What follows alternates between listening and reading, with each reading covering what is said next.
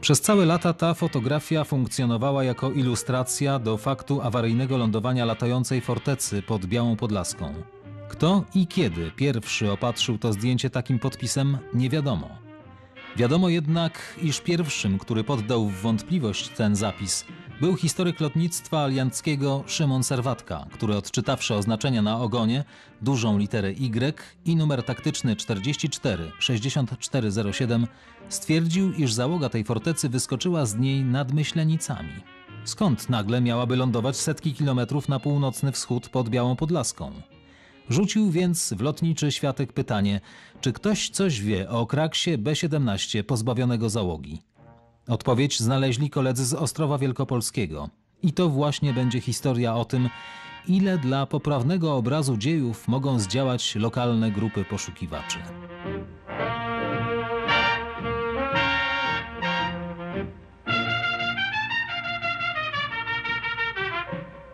Łagodny, spokojny już krajobraz wielkopolski, charakterystyczne dęby, te pola, na których nie widać już pracujących tutaj maszyn i rolników, ale oto w krajobrazie anomalia. Zgromadzono ogromną grupę samochodów, tutaj pojawiły się namioty, znak, że koledzy z grupy poszukiwawczej zaplanowali na ci akcję.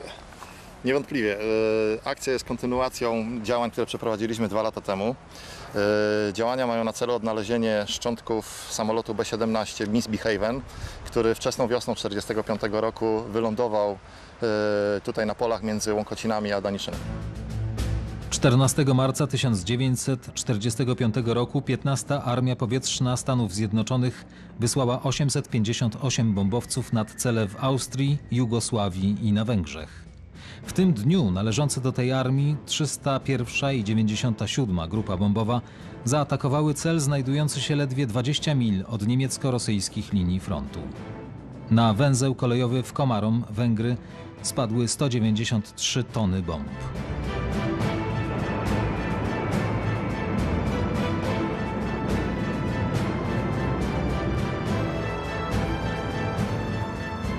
Niestety ogień artylerii przeciwlotniczej uszkodził samolot, więc dowódca, porucznik Podasek, z pochodzenia Polak notabene, podjął decyzję o tym, żeby skierować samolot już na tereny zajęte przez Armię Radziecką. Bowiem działała taka umowa pozwalająca tym wielkim samolotom lądować na terenach zajętych Tak przez jest. Sowietów. E, niestety w okolicy Myślenic e, dowódca podjął decyzję o tym, żeby załoga ewakuowała się z samolotu. Uznał, że po prostu samolot nie zdoła dolecieć do, do, do miejsca, gdzie będą w stanie awaryjnie wylądować. Ale w, przed opuszczeniem samolotu włączył autopilota. Włączył autopilota, więc załoga wyskoczyła. Wcześniej jeszcze nad Tatrami rzuciła bomby, te, które zostały w samolocie. Jedna z tych bomb została znaleziona w jednej z dolin e, tatrzańskich w 90 latach. Jest informacja, że być może w Czarnym Stawie e, tatrzańskim jeszcze jedna z tych bomb, czy kilka się znajduje. Natomiast sam samolot po opuszczeniu e, go przez załogę, no właśnie na tym polega cała specyfika tej sytuacji, że na autopilocie doleciał aż tutaj do Wielkopolski Ile to i usiadł na brzegu, na, na brzuchu tutaj na naszych polach. Ile kilometrów? Z tego co pamiętam, to jest gdzieś około chyba 400 kilometrów. Niesamowite, ale najciekawsze, że tą historię rozmnożyli po Polsce. Otóż takich historii, że oto forteca ląduje bez załogi, można w Polsce znaleźć sporo. Najwyraźniej jest to taki, taki element przenoszonej legendy.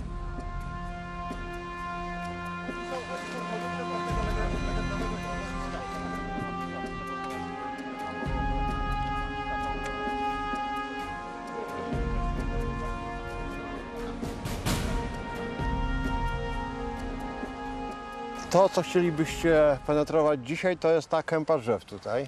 E, Tak, e, dlaczego ta kępa drzew? E, Ten samolot, ten, za tą, za tą e, strażą pożarną tam było to jakby docelowe miejsce, gdzie on był przez trzy lata po zakończeniu wojny. Po tych trzech latach Każdy zabrał, co mu się w domu przydało. Dokładnie. I właściciele tego gruntu postanowili jakby pozbyć się tego balastu z ich pola, bo chcieli mieć więcej ziemi jakby do uprawy.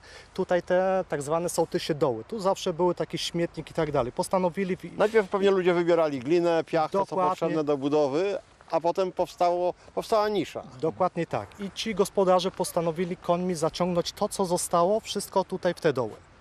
Mm, I mamy nadzieję, że po prostu uda nam się coś znaleźć z tego. Z A tego. potem te doły spełniały dalej funkcję śmietnika lotowego. Nadal dokładnie Zgadza tak. Czyli śmietnik. rozumiem, że dzisiaj kopanie jest trochę skomplikowane. Będzie Bardzo dokładnie. skomplikowane. Robert!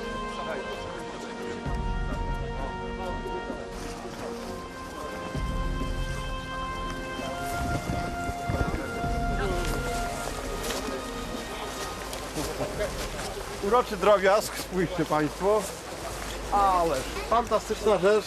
Zachował się fragment gwiazdy. Powiedzcie, w jaki sposób zostało to uratowane? E, Jeździliśmy po gospodarstwach tutaj, szukaliśmy, bo wiadomo, że takie rzeczy gdzieś tam były rozkradzione z tego samolotu. To akurat spełniało y, część ogrodzenia, tak? Ale, ale farba zachowała się świetnie. Pomimo tylu lat widzimy, że, że naprawdę w idealnym, no, może nie w idealnym, ale naprawdę W świetnym no, robi- stanie. w świetnym stanie, tak. Tu ktoś no, zniszczył, to Ale to się da usunąć, te zabawy graficiarzy. To trafi do jakiegoś muzeum? Jaki jest pomysł? e, mamy tutaj podpisaną umowę, część rzeczy już jest muzeum w Krotoszynie tutaj, a resztę gdzieś tam zbieramy, żeby to wszystko dopracować i jak najbardziej.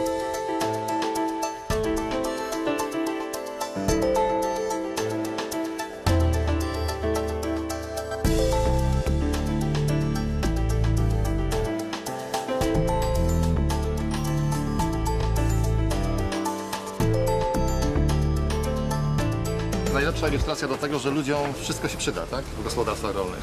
Butla tlenowa, Nowa piasta śmigła, piasta śmigła, tarcza turbosprężarki. tak. Ohoho! Solidny samolot i solidnie ważące części. Turbosprężarka, tak? Tak, od turbosprężarki. Doskonały materiał. Dziś jeszcze błyszczy. Żadnej korozji na tym. Tak. I Kolejny Kopuła. zbiornik powietrza, tak? kopuła śmigła, y, kopuła silnika Tak. z tabliczką znamionową. Próbowaliśmy dojść, ale okazuje się, że ta tabliczka znamionowa, ona zawiera tylko informacje o patentach, na podstawie których silnik został skonstruowany. Czyli nadzieja w tych danych. częściach, które tam na dnie tego, Tak, tego być dołu może, być mogą. Być może coś tam się uda wydobyć. No i duży kolejny kawałek blachy. Jaką funkcję tym razem gospodarską spełniał? E, powiem tak, leżał za stodołą i spełniał funkcję Aż przyszli dachu chłopcy nad poszukiwacze i deskami, powiedzieli odda pan i od, widzę, że ludzie oddają bez problemu.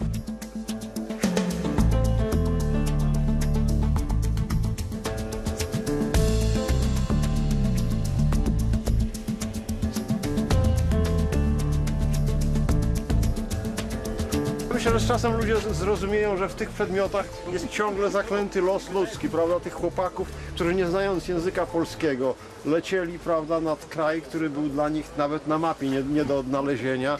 Tutaj ich los się dramatycznie urwał niektórych, inni z tego szczęśliwie się wybronili. Tutaj akurat załoga miała dość dużo szczęścia, ponieważ dowodził nimi z pochodzenia Polak. Porucznik Podasek.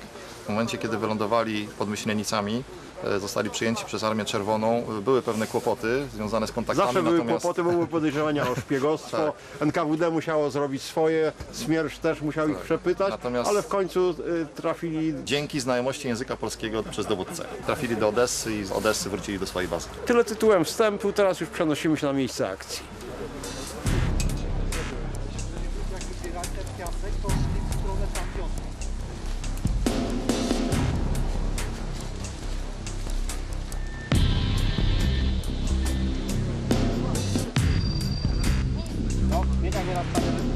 Dobra, to co po sprzęt?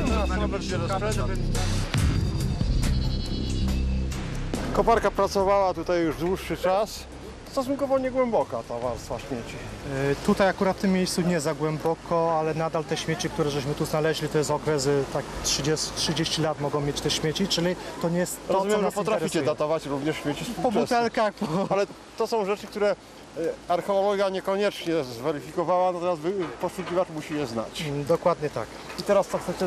E, bierzemy sprzęt, Szukacie chcemy... po, początków tak, tego, Dokładnie tego śmietniska. Dokładnie tak, bo pierwszą naszą wersją było to, że po prostu ci, którzy przeciągali ten samolot po najniższej Najbliżej. linii oporu i przez to chcieliśmy zacząć od skraju tego lasu, ale się okazało, że Że tutaj to z czasem przez te parę lat ci ludzie wybierali idąc troszkę dalej, czyli chcemy zacząć jakby od tamtej strony próbować, gdzie ta najstarsza część tych dołów jest i tam próbować kopać, tak? oczywiście praca jest ogromna, bo to jest nie, hektar. 3 hektary. 3 hektary. Hektar. Robert, twój sprzęt tutaj. problem. Wiadomo, jeżeli mamy do czynienia ze śmieciami jeszcze z taką ilością, niestety Ale pomiary. gdyby były na przykład elementy podwozia, potężne, ciężkie. Oczywiście spróbujemy zbadać, ale lepiej użyć tutaj jest po prostu magnetometru protonowego, ponieważ te śmiecie jakby one nie będą nam zakłócały pracy, jeżeli chodzi o odnalezienie Śmieci na, dużych na przedmiotów magnetyzm metalowych. ziemski jest znikomy. A jeżeli są duże przedmioty One metalowe, będą widoczne, będzie wiadomo dokładnie w którym miejscu.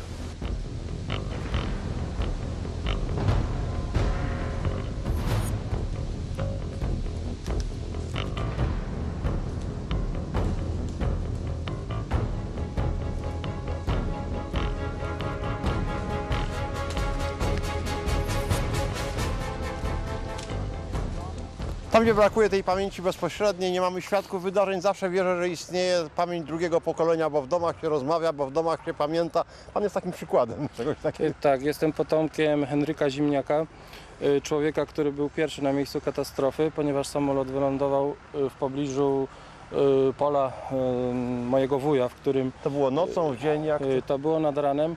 Y, Wuj y, usłyszał, brat mojego ojca, y, wybuch około godziny 5-6. Szybko wybuch jednak, tak? odgłos, Uderzenie, odgłos, uderzenie, łomot. łomot. Mm, szybko wsiadł na rower. Pierwszy był na miejscu zdarzenia. Szybko pojawiły się również samochody rosyjskie, które wzięły piecze i mm, wzięły pod ochronę ten samolot, aczkolwiek wujek nie odpuszczał. Mm, Eksplorował, oglądał ten samochód, samolot mm, z lewej, z prawej.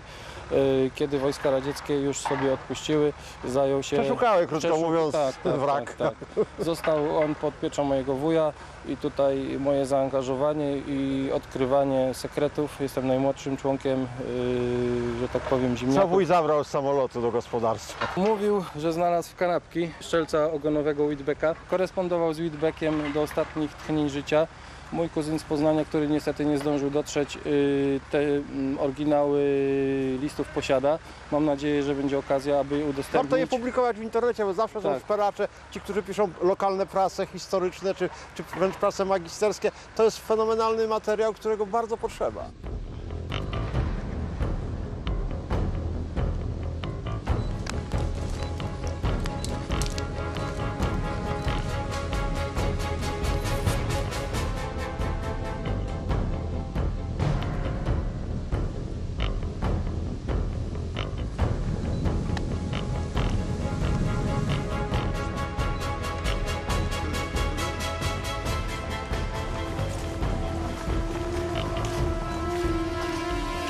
Robert po pomiarach. Więc tak, przymierzyliśmy całe to pole. Jest dużo przedmiotów metalowych, ale większych przedmiotów niestety nie ma. Nie. Sprawdzaliśmy na dwóch ustawieniach, na większe przedmioty, mniejsze przedmioty. Małych przedmiotów jest naprawdę bardzo dużo. Może ze względu na to, że to było światowisko, więc tego się spodziewaliście na pewno. Ale jeżeli chodzi o duże przedmioty, kompletnie nic. Co nie znaczy, że nie ma tam aluminiowych, prawda, dużych elementów konstrukcyjnych, dokładnie, bo to wykrywa tylko żelazo. Stawiacie koparki, kopiecie, tak? Oczywiście Od mamy którego to. miejsca zaczynacie? Myślę, że w tej chwili się skoncentrujemy i obie koparki pchniemy tam od tamtej części zachodniej lasu.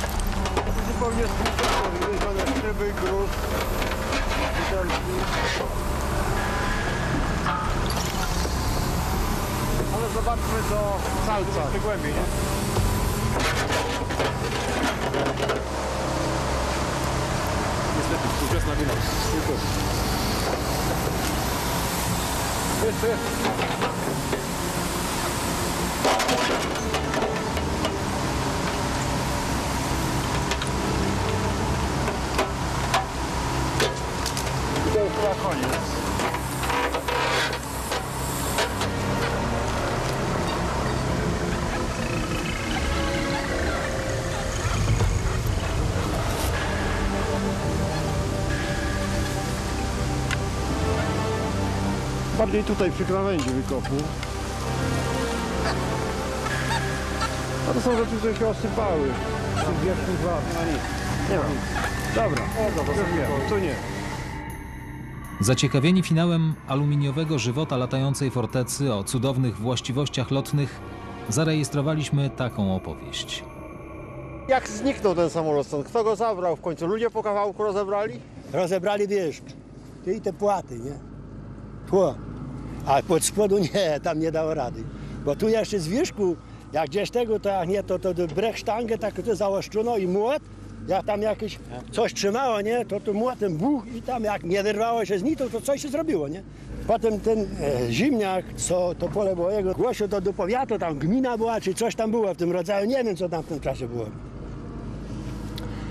Żeby to tam jakoś sprzątnąć. A ci, co, sprzątnąć? No, zamówili saperów i dawaj.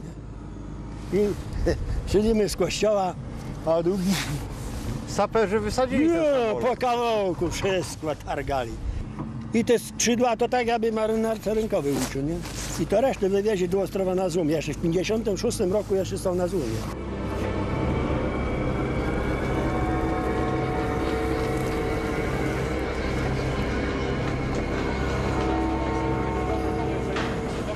Tam kończy się jedna akcja, a już rodzi się zalążek następnej. Okazuje się, że tych samolotów tu jest znacznie więcej i zainteresowanie wasze jest ogromne. Tak, e, tu mamy taką króciutką historię samolotu, który rozbił się koło Jaraczewa, koło e, Jarocina. Tu jest świadek tej katastrofy, pan Rysiu Czabański i fundator pomnika. E, w Jaraczewie zginęło pięciu młodych lotników. Pan Rysiu e, to wszystko pamięta doskonale. A tu zrobiliśmy taką W króciutką... Byli za- Zrobiliście ściągawkę z historii. W 2005 roku odwiedził nas e, strzelec ogonowy, który wypadł z ogona przeciętego samolotu. ale ten na samolot na terenie A tu Niemiec. jest są organista e, z góry, który umiał po angielsku i rozmawiał z tymi lotnikami. Dogadał się, nie? I zaś sobie zrobił zdjęcie tu. E, Ja pokażę, może, tego ja pokażę może ten samolot, e, który rozbił się w Jaraczewie. On spowodował kolizję w powietrzu nad terenem Niemiec. Po prostu oberwał w prawe skrzydło i rąbnął w samolot kolegów, przecinając na wysokości e, bocznych stanowisk strzeleckich. Cała załoga zginęła oprócz jednego lotnika. Uratował się strzelec ogonowy i on e, odwiedził nas w 2005 roku. Zaraz będzie tutaj takie króciutkie zdjęcie pokazane. To jest w wieku 80 lat. Przyjechał Zaszczycił nas swoją obecnością. E, jedyny ocalały lotnik opowiedział nam całą historię e, swojej załogi. W 91 roku pan Rysiu ufundował pomnik za wdzięczność Amerykanom, że dla tych młodych lotników, po którzy prostu. polegli w Jaraczewie. No i Harry Schulz był na odsłonięciu, nawigator z tego samolotu, był na odsłonięciu pomnika, a dopiero w 96 roku, tyle lat po wojnie, poznał się z y, tym jedynym ocalałym lotnikiem. Po tylu latach. Był Wiecie panowie, dla mnie najpiękniejsze jest to, że gdziekolwiek by taki samolot się nie rozbił, jakiekolwiek nie byłyby losy załogi, to zawsze po latach pojawia się grupa młodych, starszych, Tak. średniego pokolenia ludzi, którzy starają się tę pamięć przywołać, uratować i stworzyć pewną kontynuację. Bardzo mi się to podoba.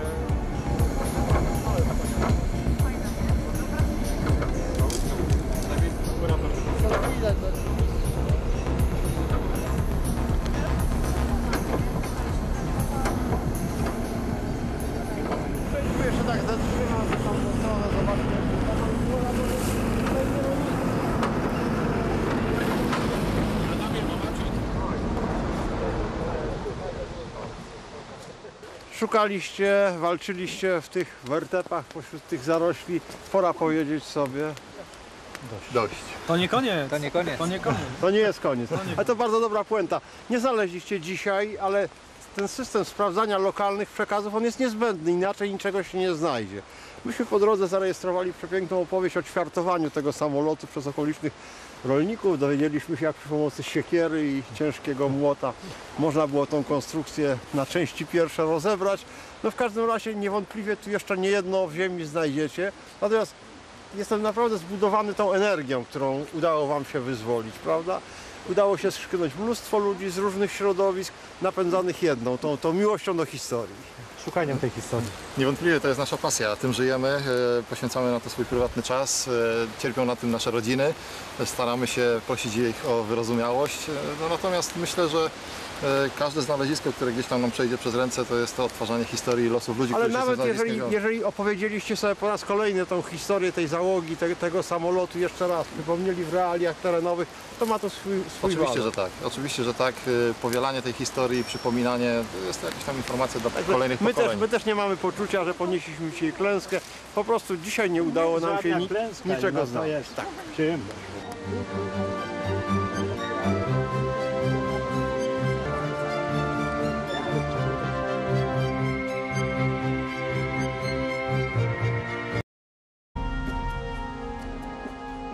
To, co chcielibyście penetrować dzisiaj, to jest ta kępa drzew tutaj. E, Tak, e, dlaczego ta kępa drzew? E, Ten samolot, ten, za tą, za tą e, strażą pożarną tam było to jakby docelowe miejsce, gdzie on był przez trzy lata po zakończeniu wojny. Po tych trzech latach Każdy zabrał, co mu się w domu przydało. Dokładnie. I właściciele tego gruntu postanowili jakby pozbyć się tego balastu z ich pola, bo chcieli mieć więcej ziemi jakby do uprawy.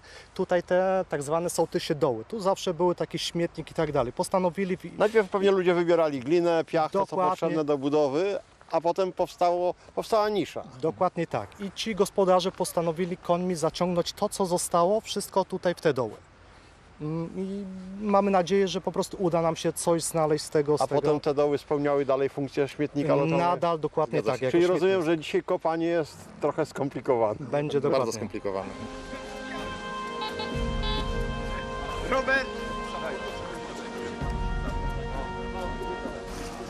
Gdzie będą w stanie awaryjnie wylądować, ale w, przed opuszczeniem samolotu włączył autopilota. Włączył autopilota, więc załoga wyskoczyła.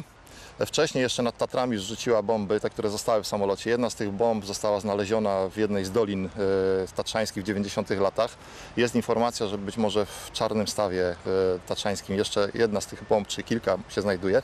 Natomiast sam samolot po opuszczeniu e, go przez załogę, no właśnie na tym polega cała specyfika tej sytuacji, że na autopilocie doleciał aż tutaj do Wielkopolski i usiadł na brzegu, na, na brzuchu tutaj na naszych polach. Ile No kilometrów? z tego co pamiętam, to jest gdzieś około chyba 400 kilometrów. Niesamowite, ale najciekawsze, że tą historię rozmnożyli po Polsce. Otóż ty, takich historii, że oto forteca ląduje bez załogi, można w Polsce znaleźć sporo. Najwyraźniej jest to taki, taki element przenoszonej legendy.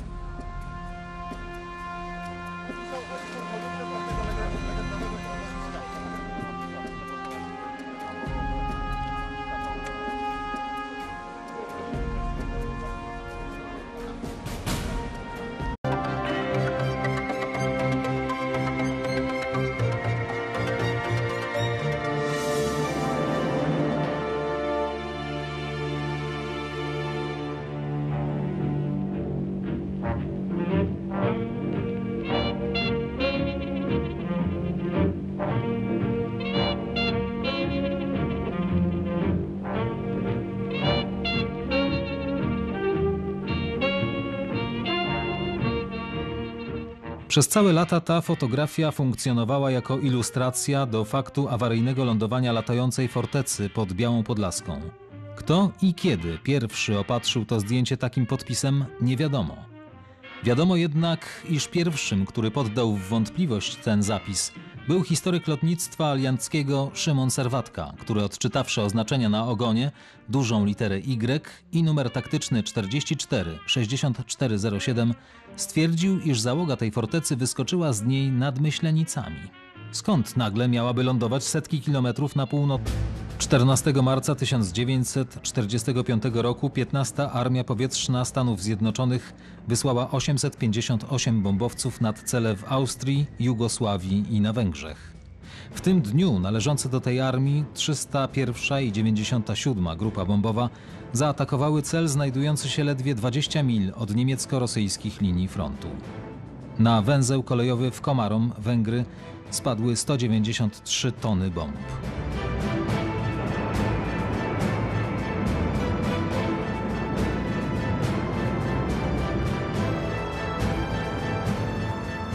Niestety ogień artylerii przeciwlotniczej uszkodził samolot, więc dowódca, porucznik Podasek, z pochodzenia Polak notabene, podjął decyzję o tym, żeby skierować samolot już na tereny zajęte przez armię radziecką. Bowiem działała taka umowa pozwalająca tym wielkim samolotom lądować na terenach zajętych Tak przez jest. Sowietów.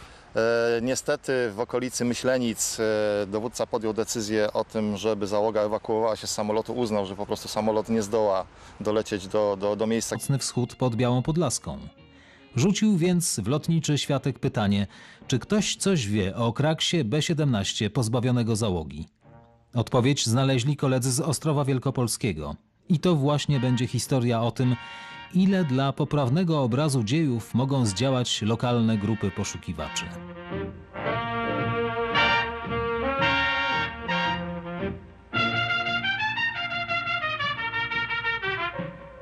Łagodny, spokojny już krajobraz Wielkopolski, charakterystyczne dęby, te pola, na których nie widać już pracujących tutaj maszyn i rolników, ale oto w krajobrazie anomalia. Zgromadzono ogromną grupę samochodów, tutaj pojawiły się namioty, znak, że koledzy z grupy poszukiwawczej zaplanowali na ci akcję. Niewątpliwie. e, Akcja jest kontynuacją działań, które przeprowadziliśmy dwa lata temu.